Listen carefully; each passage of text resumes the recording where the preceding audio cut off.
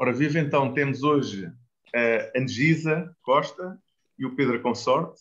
A Angisa já é alguém que eu conheço há alguns anos, eh, de várias praias que fizemos juntos, eh, praias no sentido de formação, e com o Pedro conheço há pouco tempo, mas conheço fundamentalmente de, de ter escrito eh, um capítulo do livro Pedagogia da Cooperação. Portanto, é coautor do livro Pedagogia da Cooperação e, portanto, está naturalmente dentro do projeto de cooperação. Bem-vindos aos dois, muito obrigado por, terem, por estarem aqui. Obrigado. É ótimo poder-vos ter aqui. No fundo, eh, há um aspecto que eu acho que era importante, que é, enfim, para quem nos escuta, que é perceber quem é a Angisa e quem é o Pedro. Primeiras senhoras, eu vou começar pela Angisa. E a Angisa é mãe, é sonhadora, facilitadora, coach e formadora. Facilita ações com reflexão, integra, integrando a mente, as emoções e o corpo como recursos e ferramentas pessoais ao serviço de propósitos coletivos. Uh, e a pergunta que ela faz, uh, que é uma questão principal, é como podemos produzir coletivamente resultados melhores. E esta pergunta que se esconde atrás das abordagens que aplica em diversos grupos de trabalho e confocando uh, a responsabilidade e o poder individual. Enquanto, enquanto o coach combina a abordagem tradicional do coaching com os princípios e as práticas de liderança autêntica. Disponibiliza igualmente serviços de mentoring a outros formadores e facilitadores. Eu acho que bem preciso. Há bem há, um conjunto de pessoas, se calhar, agradece uh, as tuas, esse, esse teu trabalho. O Pedro, o Pedro Consorte, é consultor de comunicação, inteligência emocional e desenvolvimento humano. É, tem uma formação superior em comunicação das artes do corpo pós-graduado em Pedagogia de Cooperação, mestre em Comunicação e Semiótica, ex-performance do espetáculo internacional Stomp, cofundador do projeto Música do Círculo, voluntário do centro, uh, voluntário no Centro de Valorização da Vida e facilitador de comunicação não violenta, com treino pelo uh, Center of, for Nonviolent, Communication. E temos aqui já aqui alguns elementos interessantes algum de vós quer comentar, acrescentar uh, algum ponto que eu referi? Gisa, Pedro? Eu, eu há pouco dizia que estou em fase de crisálida, mas agora escutava-te e creio que cada vez mais estou, algo me chama muito para prestar atenção mesmo nesta dimensão da... Acho que o nosso trabalho é muito manter o espírito humano vivo. Então acho que é... Uh sintetizava isso. Tudo isto são só metodologias, mas é como é que mantemos o espírito humano vivo né, nos nossos contextos de produção. Eu aproveito teres vindo à Lissa e aproveito e vou, vou perguntar aos dois, mas pronto, agora também se quiseres responder-nos, Isa responde já, ou então o Pedro. Uh, quando se fala em cooperação, o que é que vocês o que é que sentem no vosso coração? Ou seja, o que é que chama, o que é que, o que, é que está em vocês quando se fala em cooperação, uma vez que é deste livro de pedagogia da cooperação que se trata. Posso, Pedro? Vai, vai. Sabes que eu sou muito, tu conheces, sou muito de imagens mentais. Então, conforme estavas a fazer essa pergunta, veio-me assim uma visão interior de um organismo verde com capilaridade. Ou seja, então acho que a, a resposta intuitiva do meu corpo é, é, é é voltarmos à nossa organicidade. É que aquilo que acordou foi uma, uma visão muito orgânica, não é? Então é, é, remete para um, um, um, sentimento de retorno, não é? Aliás, eu, quando eu digo que sou sonhadora, eu acho que eu sou muito sonhadora deste, de um algo que a minha mente não consegue articular, mas que remete para isto, para união, cooperação, por isso é uma crença profunda de que isto, isto é o, o elemento natural, não é? De onde, de onde viemos e que nos afastamos. Então acorda isso, saudade e vontade de regressar e, e, consciência de que já é, só precisamos de ver. E Pedro, que te parece? O que é, que é que sentes quando se fala em cooperação? Eu sinto uma mistura de duas coisas. Eu sinto é, uma lembrança dos momentos que eu senti assim, ah, que, que gostoso que é cooperar, a cooperação como brincadeira, né? A leveza. É, é muito gostoso assim viver momentos de grandes cooperações, né? Todo mundo está cooperando, isso é muito muito prazeroso e ao mesmo tempo uma sensação de momentos que, que não havia cooperação ou que era difícil encontrar esse lugar de cooperação, né? momentos conflituosos que eu gostaria de ter cooperação e não tinha. Então acho que tem esses dois lados a cooperação para mim, né? essa luz e essa sombra que que que fazem parte desse processo, né, de buscar a cooperação e de quando conseguimos viver os prazeres da cooperação. Né? Eu, eu acho que é, é, super interessante teres trazido esse lado da sombra e da luz, uh, porque eu sinto exatamente isso. Acho que, de facto, a cooperação tem, tem as duas coisas e estão presentes naturalmente. Portanto, ou seja, quando se fala, eu vou tentar falar mais devagar, Pedro.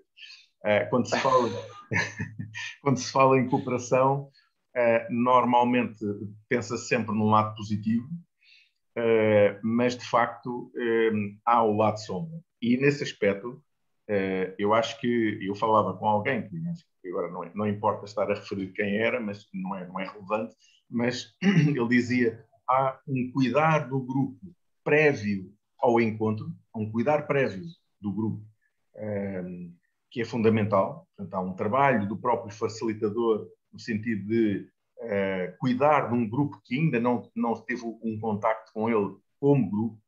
Uh, e, por outro lado, há o próprio facilitador uh, que necessita de estar bem íntegro, bem equilibrado, diria assim, para escorrer das suas competências para, em determinados momentos mais difíceis ou mais eh, mais sinuosos no próprio no comportamento do grupo relativamente às propostas que o próprio facilitador faz, é preciso que haja uh, uma ancoragem do próprio facilitador.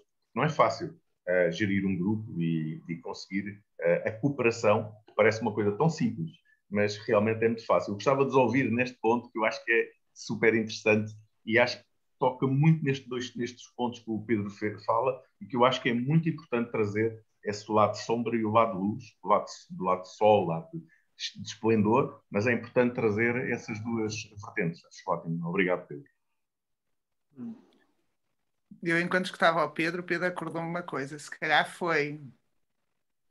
Eu acho que busco tudo isto que é para rumo à cooperação, união e este caminho pela experiência ao meu redor de ver desunião, de ver conflito. Não? E, e aí lembra-me a realidade última, remete-me para esta, este, este, este algo que me estou sempre a recordar, que a realidade última é movimento, é nem estar numa polaridade, nem estar na outra, é este.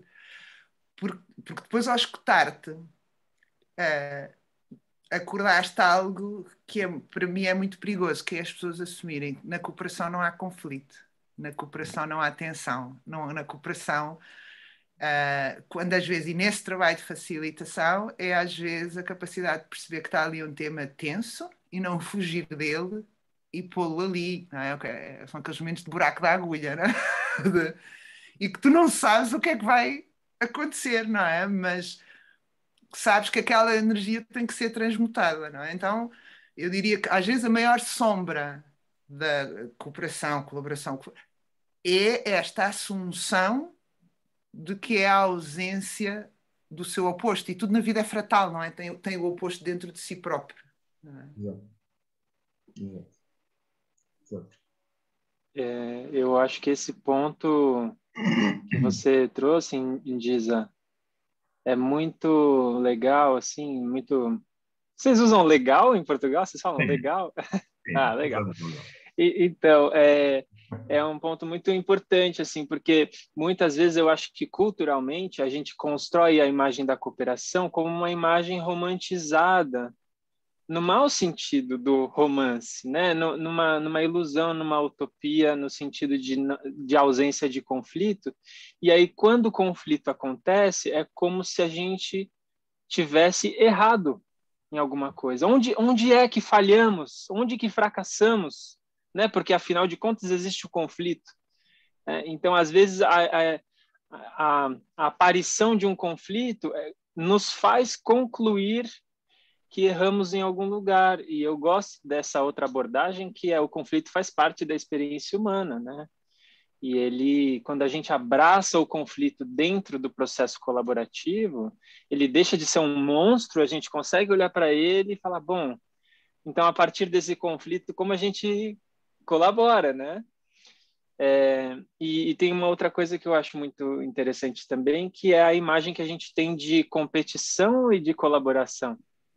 Porque muitas vezes, no senso comum, né, culturalmente, quem está pensando em é, desenvolvimento humano, né, geralmente associa a colaboração a uma coisa boa, uma coisa que nos ajuda como humanidade e competição é uma coisa que nos que é tóxica, que nos destrói, né? E eu gosto também de pensar assim, tá, mas a colaboração a serviço de quê e a competição a serviço de quê? Porque a colaboração, por exemplo, existem vários tipos de colaboração acontecendo nesse exato momento, inclusive colaboração de grupos, colaboração de membros de grupos para dominar outros grupos. Existe uma colaboração incrível. No processo de dominação. Se não houver colaboração ali dentro daquela bolha, né, esse grupo não domina aquele. Então, esse é um tipo de colaboração que, para mim, não é bom para nós como humanidade, né? E, ao mesmo tempo, existem competições acontecendo nesse exato momento que são competições muito saudáveis. Por exemplo, é, competição de, de projetos de transformação da desigualdade social. Se a gente vê qual é o melhor projeto, qual vai ser o projeto que vai mais ajudar as pessoas ajudar a gente como sociedade a cuidar do meio ambiente, cuidar do clima, né? cuidar das pessoas que estão desprivilegiadas. Então, eu gosto também de brincar um pouco dessa, com essas outras perspectivas em relação à colaboração e à competição, né? para a gente se perguntar a serviço de que está esse processo. E esses são dois pontos aí que eu fiquei com vontade de trazer.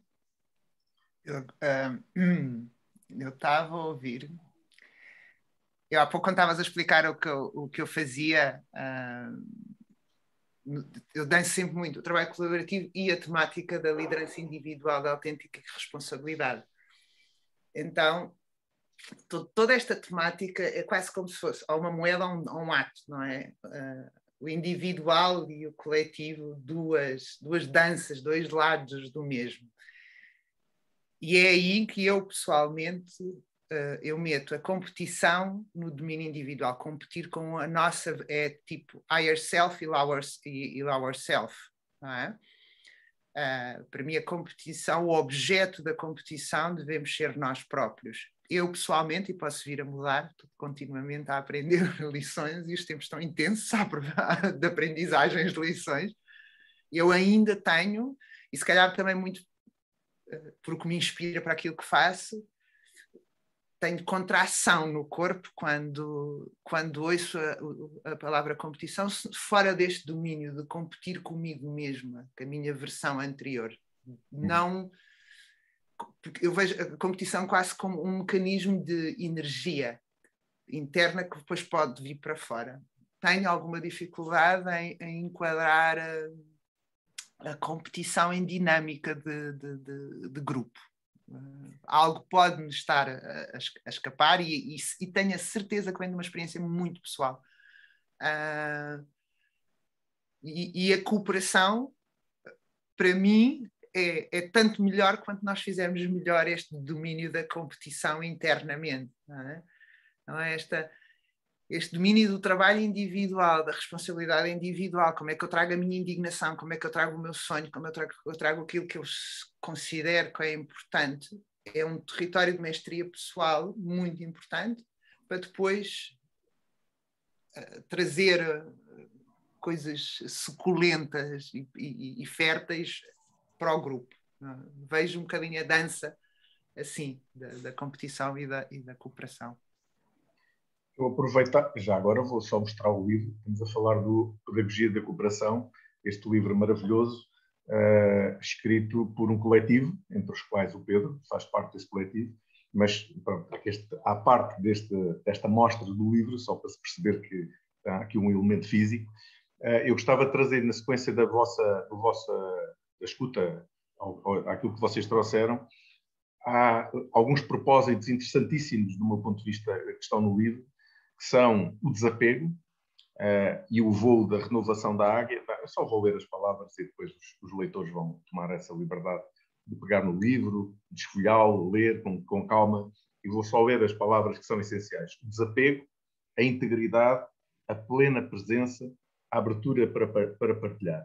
E, portanto, são estes elementos que são os, o propósito. Eu não me canso de repetir isto em cada vez que nós temos conversas, porque acho que isto é não, não é só uma questão de ser delicioso, para mim é, mas é delicioso, mas tem muito, uh, há muito de, de, profundidade nestas palavras e, portanto, algum, uh, uh, alguém que queira, de facto, praticar a cooperação tem que ter presente o desapego, a integridade, a plena presença e a abertura para partilhar e, para além disso, também é importante ter presente os princípios que vêm no próprio livro que é um princípio da, da coexistência, da convivência, a cooperação e a comunidade.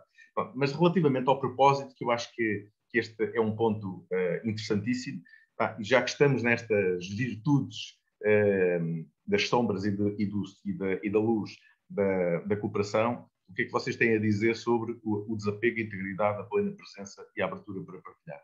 Faz-vos sentido eh, e, e está profundamente conectado com isso que vocês acabaram de dizer, certo? Eu tava, eu, enquanto eu te ouvia, Gabriel, eu estava pensando que esse é um convite da pedagogia da, co, da cooperação, né? um lembrete de como que essas virtudes ajudam a gente a, a, a aumentar as chances de cooperar, né?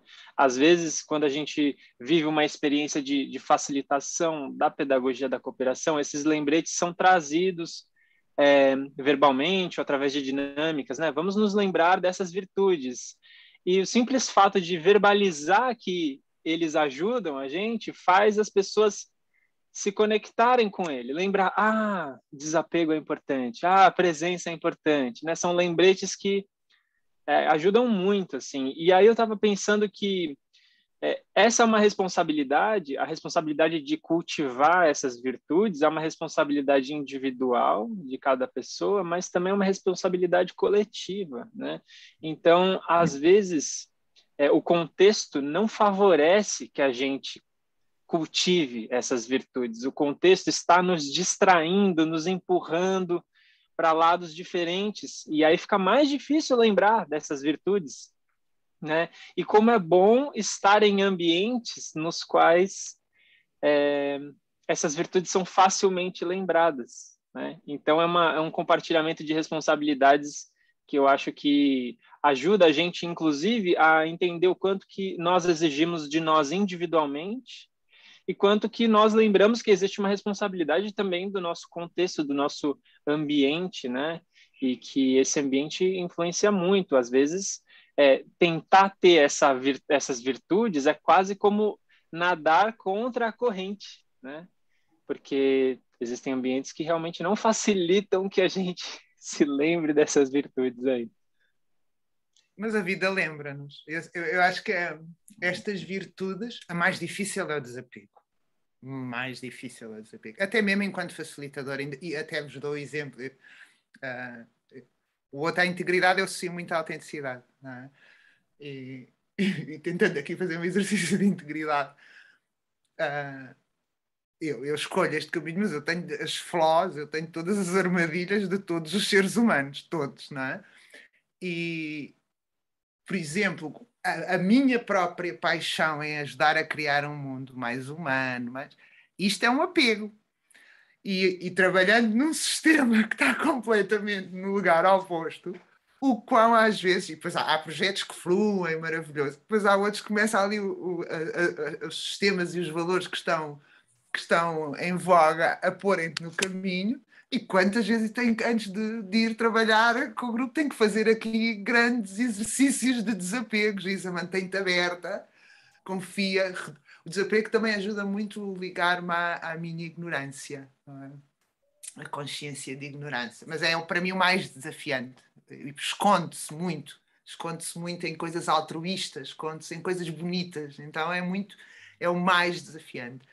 E a atenção plena, para mim, é o instrumento. Porque se eu me esqueço de qualquer uma destas virtudes, vão começar a aparecer na minha vida uma série de fenómenos. Tá, tá, tá, tá, tá, tá, tá e a atenção plena aí ajuda, porque uh, ok, isto está tudo a acontecer, estas adversidades, estas entropias, esta, esta tensão interior, esta. Uh, olha para ti, não é? Porque nós, o que acontece no mundo é aquilo que acontece dentro de nós, o que acontece no nosso mundo à nossa volta é o que está dentro de nós. Então, eu.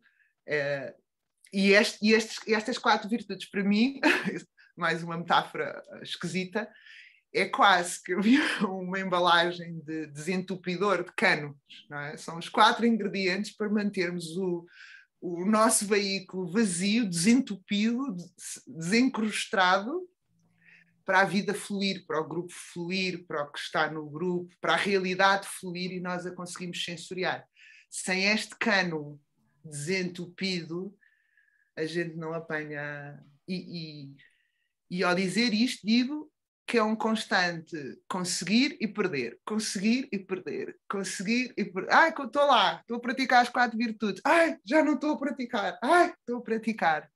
Uh, a minha voz é muito de sim, isto é crucial. Eu diria que é, não há capacidade de nós individualmente participarmos na construção de algo coletivo sem esta, sem, sem nutrirmos isto, mas é o mais difícil e é aquilo que é tipo todos os dias começas de novo, quase. É? Todos os dias começas de novo. Não queria pô-las num. Ah, é fácil, vai, toca aí, e se, e e se por acaso no dia a seguir não, não estiveres aí, és mau. Não. é, de, são, é muito difícil no mundo que temos. E vai em linha com as tuas palavras, Pedro, porque o ambiente à volta não, não, não nutre, não, não chama por elas. E, e já agora, esta, esta, esta dúvida mas isto é, tem, tem um pouco a ver com alguns uh, colegas vossos, facilitadores. Uh, práticas, não sei se fazem, mas que práticas é que vocês, práticas prévias uh, à facilitação é que vocês habitualmente fazem? com certeza que vocês têm que ir preparados. É? Muitas. Todos os dias de manhã tenho, tenho a prática e do rezo, e há um mantra particular que eu gosto muito, que é muito o dar a, a boas-vindas ao dia, mas não só o fluffy, fluffy bonito. É este, esta unidade que tem sombra e tem luz, que tem, tem as duas coisas. Então, tentar começar sempre o dia com consciência disso.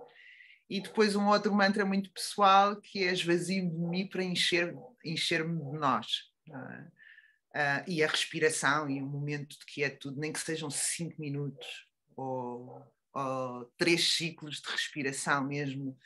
Inspiro quietude, inspiro abertura, inspiro compaixão e expiro julgamento, expiro uh, expectativas. Então, são coisas às vezes muito simples. A respiração é de um poder, ela centra logo.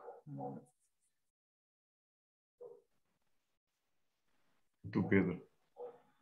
É, eu estou tentando pensar se tem alguma coisa que eu sempre faço. Eu não sei se tem alguma coisa que eu sempre faço, porque também as situações são diferentes, né? Às vezes eu tenho mais tempo, às vezes eu tenho menos tempo para me preparar para cada facilitação.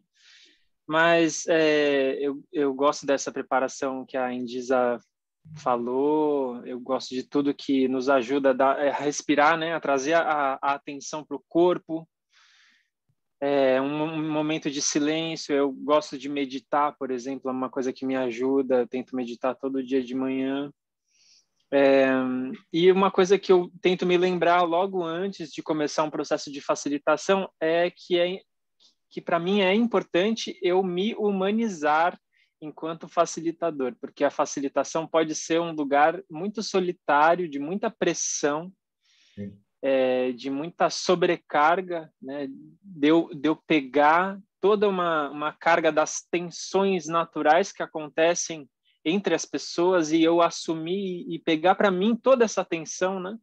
Porque afinal de contas eu estou conduzindo, né? Eu estou dirigindo ali o, o, o, o caminhão, então é, é uma armadilha, eu acho, da facilitação esse lugar e eu fico o meu mantra, eu, eu tento me, me, me contar esse mantra sempre. Posso me humanizar, eu posso pedir ajuda, é uma responsabilidade compartilhada, não sou responsável por tudo que vai acontecer, né? Por mais que eu esteja na condução, eu posso abrir o processo para ter momentos mais horizontais e, e não estar sempre à frente. E isso, para mim, me ajuda, assim. E, às vezes, quando eu vou facilitar um processo que, que eu já estou sentindo uma tensão extra, às vezes eu peço até uma conversa com, com outras pessoas que eu já sei que têm uma escuta mais empática, para fazer uma sessão de escuta empática mesmo, para conseguir botar as minhas tensões para fora ali e, e tentar olhar para as minhas tensões, para os meus medos, né, para aquilo que, que já está muito latente dentro de mim, porque assim eu consigo abrir um pouco mais de espaço e aí através da escuta empática, que também faz parte aí do tema que eu escrevi, né, no, no livro da comunicação não violenta, esse, esse recurso para mim é, é muito precioso, assim, muito valioso, porque aí eu abro espaço e aí chego na facilitação com outro tipo de presença. Acho que tem, tem vários recursos possíveis, né? E essa troca, o que, que cada um faz, o que, o que cada uma faz antes de entrar na facilitação, eu acho que essa é uma pergunta muito, muito boa, porque a gente vai descobrindo as estratégias né, de cada pessoa. E é sugestões são sempre muito bem-vindas, né? Estávamos a falar e, estava até o próprio, quando estou a preparar o espaço, chama amor, tolerância, compreensão, logo ali eu criar um espaço muito e uma das metodologias que eu uso muito disfarçadamente são as constelações sistémicas e que trabalhamos hum. com o campo. A intenção é uma coisa poderosa. A intenção clara é uma coisa poderosa. Uh, e depois, quando estavas a ouvir falar agora, Pedro, estava-me a lembrar um que também. E tem estado muito presente, porque os tempos estão muito tensos. Que é o. E tu conheces, Gabriel, que é o, uh, o o caminho quádruplo, não é? Da, da Art of Hosting, que é anfitriar-me a mim mesmo, deixar-me ser anfitriada, anfitriar o outro, ser parte. É? E isso, quando escutava se eu preciso, se eu estou com uma tensão no grupo, estou, é, o melhor movimento para um facilitador é fazer isso mesmo. Olha, eu estou a viver isto, pô-lo aqui em cima, não é? Então ele deixa de, de estar a, entupir o cano, não é? Eu já, já estive em algumas formações contigo e algumas foste tu a, a facilitar, uh, ou pelo menos parte dela e, e, acho, e tu, de facto, tens essa, essa, essa qualidade de, de, de exibir a vulnerabilidade que acaba por ser surpreendente uh, para quem está, uh, enfim, está nessa formação ou nesse, nesse momento de, de formação, formativo e, de facto, é, é, super interessante porque se desencaixa naquilo que é a normalidade dos formadores e isso é super interessante porque de repente a pessoa, ops, eu estou aqui, mas eu também sou corresponsável por esta pessoa que está aqui a, a, a, trabalhar, a fazer alguma coisa por mim.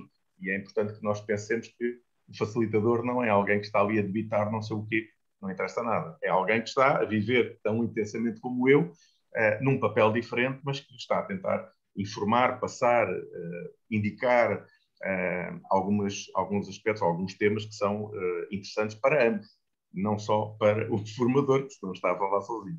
E neste sentido, eu, eu só, enfim, nós vamos falar mais uns 5 minutos, mas neste sentido eu diria que há aqui um aspecto também super interessante no livro que eu gosto sempre de trazer, porque gosto de ouvir o que, o que vocês têm para dizer, que é as sete práticas.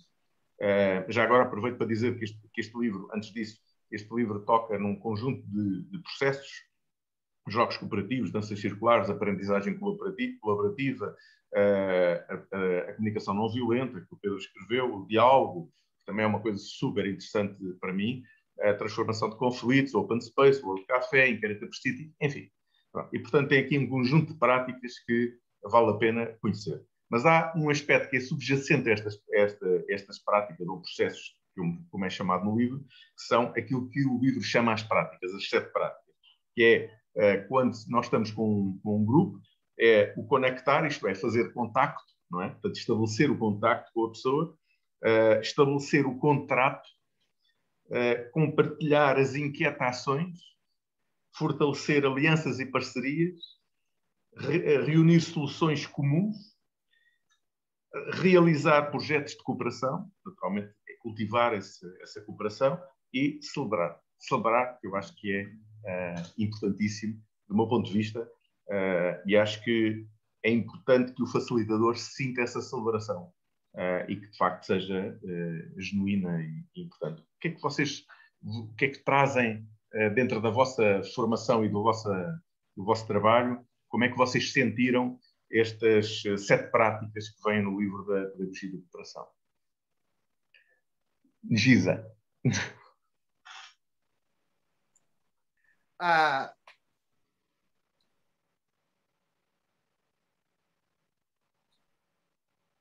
o conectar, para mim, eu, eu, eu, distingo dois grandes ambientes de trabalho de facilitação, é? que são completamente distintos. É? Que é fazer uma formação em que as pessoas vão porque já querem ir, escolheram ir? E aqueles em que estás a intervir porque um, uma organização, um município, ou o que for, quer fazer um processo participativo ou colaborativo e as pessoas vão porque foram mandadas. logo, logo esse espaço de conexão é, é, é, é, completamente diferente, é muito mais fluido, tens que fazer muito pouco uh, quando as pessoas já veem, esta energia da busca é, é mágica, não é? Trabalhar com pessoas que já vão na busca no, no, no, nos contextos em que as pessoas foram mandadas, porque têm que trabalhar, porque têm que fazer isto ou fazer aquilo, eu, eu, eu diria que não tenho uma receita eh, pré-definida, é muito sentir, não é? O, ouvir as vozes, porque começa logo, por exemplo, num check-in, não é? Perceber uh, que as pessoas estão a falar normalmente a partir de uma função, não estão lá, então tu nem tens o elemento para conectar, porque para conectar tens de ter lá a pessoa, não é? Uh, então passa muito em antes, antes de conseguir chegar à conexão, eu tenho que ter o. Agora a imagem que está a ver é tipo do Star Trek, os, os, os teletransporte, não é? Conseguir que as pessoas estejam ali inteiras, não é? Como mães, pais, filhos, avós, cidadãos, sonhadores, e não só como administrativo ou responsável de marketing. É? Uh, Super interessante teres trazido isso. E é, são duas, e aí e vou centrar-me um bocadinho então no conectar, que é neste território muito mais hostil, muito mais sem vida, é? que o grande trabalho é como o trazer as pessoas. É? E depois a própria dança, no convidares a pessoa e percebes que a pessoa não quer vir, ela não quer, então tu vais ter que arrancar às tantas com o grupo com pessoas que já puseram uma perninha pessoal, outras que não puseram uma perninha pessoal, então tu és capaz de passar duas ou três sessões que ainda estás no conectar. Uh, lá está aqui o elemento fractal também, não é? Tens que continuar, porque há este tempo linear, há esta, todo esta, este trabalhar no sistema como ele é. Então é fractal, tu estás sempre atento a, a um, está aqui mais do pai, da mãe, do cidadão. Então, para mim, este elemento do conectar tem, é, é isto que, que, que, que desperta. Já pela resiliência do próprio formador. Sim, e, o, e é uma dança, tu sabes, né? é uma dança. Depois, também, também eu gosto da palavra do tato e, e do contrato, tá? porque depois também temos que ter cuidado como tocamos as pessoas, não é? Porque mesmo na sua dureza aquilo é um cristal, não é? então tu tens, ah, ah, ah, já não posso empurrar mais, tem que acontecer algo. Aí depois é muito, depois há o limite que tu consegues fazer, não é? Depois é tipo, ok, então como é que o grupo, neste, neste que já trouxe mais um bocadinho pessoal, como é que o próprio é o próprio grupo que traz os elementos dos outros para os outros conectarem. Isso socorro muito do grupo. Porque lá está, porque eu acredito sempre que está sempre aquela elemento, eu acredito na, na bondade básica que reside dentro de todos nós. Está cheio de camadas de, de coisas. Então, eu diria que este processo de conectar é trazer à superfície esta humanidade, que as pessoas estão desconectadas, elas acham inadmissível elas terem opinião pessoal, e um, ajudar a quem tem a coragem de trazer a, ligar os outros, não é? Quase uma velinha. Olha, tenho, a minha vela acendeu, deixa-me ir a ver, a, acender a tua, a tua velinha. É? E, e vamos calar, não vou falar mais das outras para dar espaço ao Pedro para falar. Ah, estás à vontade. Interessante muito interessante. Gostei, é, super interessante essa, essa, essa visão, de facto, porque há grupos e grupos e há intenções e, há, e, e depende de facto se, é um, se vem de uma organização, se é um grupo que quer mesmo e que foi a uma formação. Super interessante. Obrigado, Conhecido. Pedro, o que tens tu a dizer sobre essa, sobre esta dimensão. Sobre essas é, sete práticas, né, Gabriel? É, ah. Tem a ver com isso, né? As sete práticas, para mim, é, foram uma descoberta que me, me ajudou assim muito a organizar o processo, a ter referências para pensar em etapas com os grupos. Né? Então, me ajuda bastante a pensar no contato, contrato, inquietações, todas essas fases que são importantes. Então, me ajuda a organizar. É, e e uma, uma coisa que é muito forte para mim é a comunicação não violenta, né? Então, o casamento daquilo que a comunicação não violenta me oferece e as sete práticas, eu acho que é um casamento muito feliz, assim, porque é, a comunicação não violenta me ajuda a é, abrir espaços de celebração daquilo que é importante ser celebrado e também espaços de contemplação do desconforto, né? Contemplação do conflito e investigação do conflito.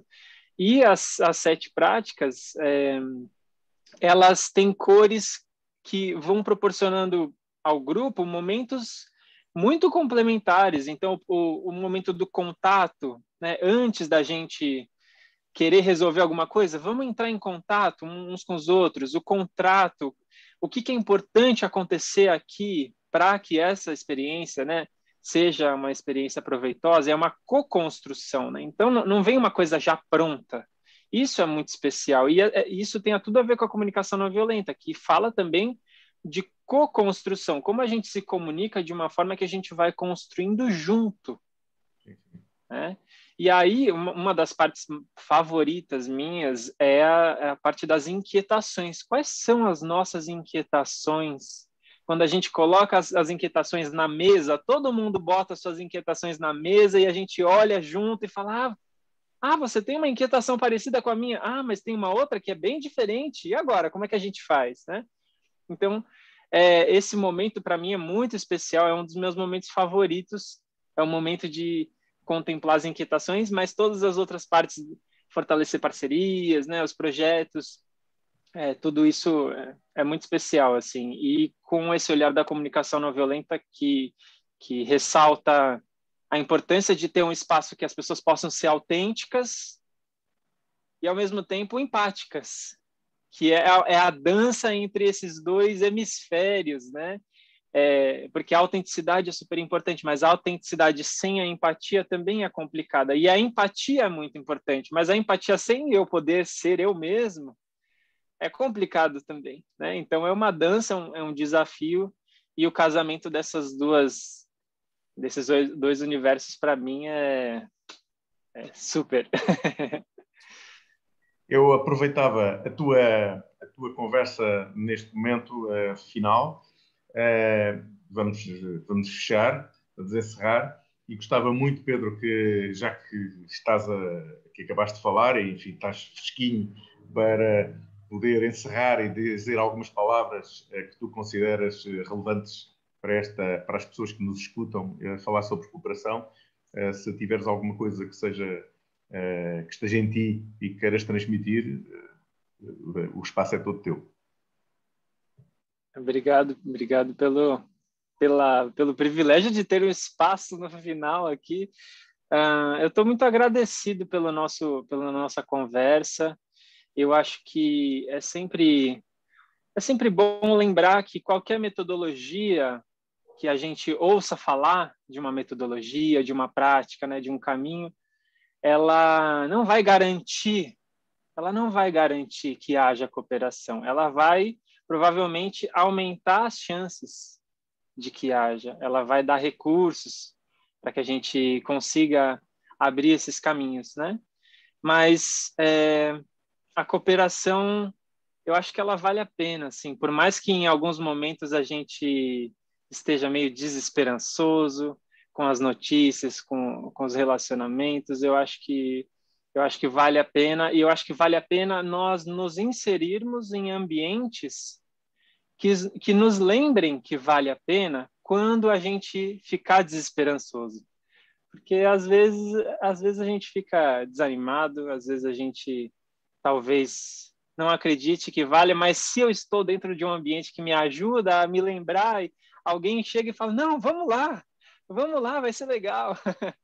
isso isso é especial. Então acho que construir ambientes e buscar ambientes que sejam saudáveis para a gente, que facilitem que a cooperação aconteça, para que a gente possa levar a cooperação para mais lugares, né? Então, acho que é a minha experiência pessoal, não é nenhuma verdade absoluta, mas é o que eu tenho vivido e fico grato por compartilhar com vocês e quem, quem quiser entrar em contato, tirar qualquer dúvida, eu estou sempre disponível aí, respondo assim que possível. Obrigado, Gabriel, pela sua condução aí, obrigado, Engisa, pela Obrigado, sua Pedro. parceria nesse papo. Então, Giza, o que tens tu a dizer?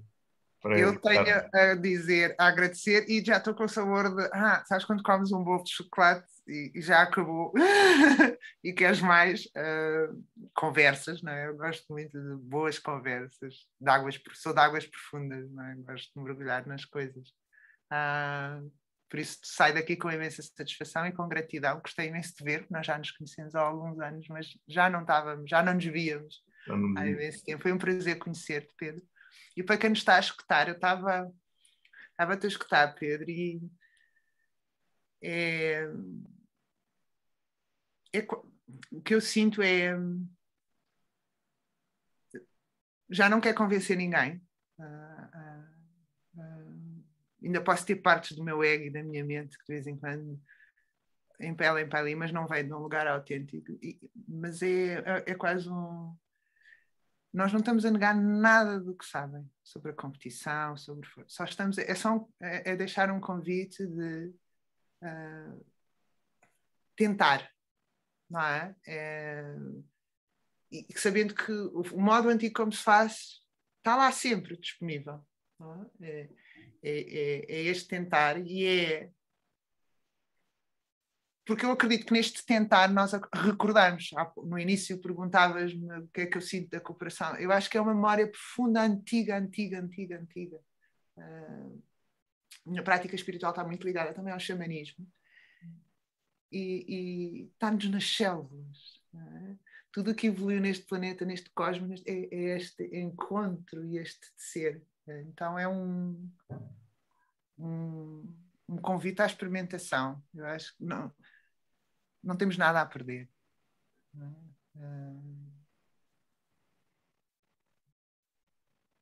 E estou num espaço de, de poucas palavras, neste preciso momento. Vêm lágrimas, que é um é algo, um longing grande que eu tenho. E, e, e, por causa de ser um longing grande, se calhar depois sabes que eu sou uma, uma, uma mulher assim com. Uh, então, em vez de forcing cada vez mais estes meus últimos 10 anos, é, não, é, é um venham experimentar. Mas sabendo, mas depois as pessoas experimentam, então, mas é muito fácil cair no. Tem que haver uma habituação e tem que ser um, um experimentar regular. Porque está tão, está, está tão automatizado o outro modo que mesmo que a gente experimente uma vez e fique maravilhado e saia a celebrar e sinta-se expandido, a maior parte da memória no nosso corpo é do, do resto, não é? Eu tenho 45 anos, estou, comecei isto há, há, há pouco mais de 10, eu ainda tenho 35 anos para arrepiar caminho, para ganhar uma memória inteira de que a natureza da vida é esta, não é? Então é, é um convite, é uma partilha, é um, é um rezo, deixa um rezo, quase, de que não temos nada a perder em experimentar. Gostei da tua expressão que és uma mulher, a dizeres que és uma mulher de águas profundas, eu também acho que és. Acho que és uma mulher de águas profundas. Já tivemos em algumas formações em que eu te vi como uma mulher de águas profundas. Uh, e, portanto, eu corroboro inteiramente. Muito obrigado, Giza. Muito obrigado, Pedro. Não. Obrigado a quem nos escutou. Acho que foi uma conversa super, super interessante, eh, com duas pessoas super, super interessantes, a Giza e o Pedro três pessoas super, super interessantes. Obrigado. Até breve. Obrigado.